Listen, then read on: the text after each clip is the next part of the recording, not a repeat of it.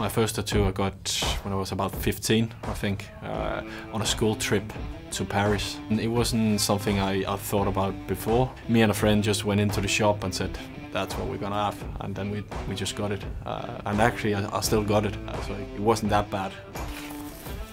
It's one cockadoodle, dude. But that's gonna fucking hurt so bad. Ami is doing the uh, the liver birds uh, on my fingers. Uh, that's the symbol of uh, of Liverpool. I, I, I, see it as one piece. You know, when I speak to people, I, I talk about my tattoo. You know, as one piece. Uh, but obviously, every every tattoo has a story. Um, some stories are better than others. What is that? YNWA? Yes. You know, walk alone. The, the timing was quite good. There was a lot of rumors um, sending me to another club for a lot of money and I knew inside myself that I was staying.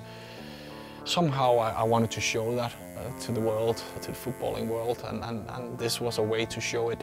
Um, or you got it tattooed while you were supposed to be traded maybe? Where they had a big possibility to sell me for a lot of money. Uh, I got it done uh, just two or three days before the transfer window closed. And I basically closed all the talk with that.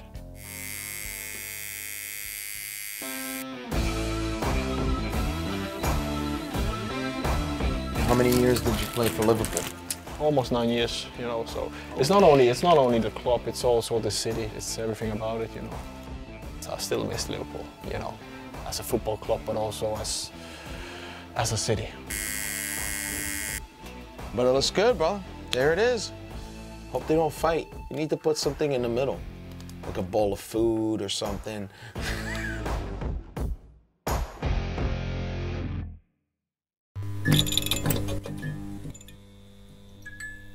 This is Ami James and Danny Agger, and I just did the Liverpool tattoo. And if you want to check it out, go on the Tattoodo app and download and check out this tattoo.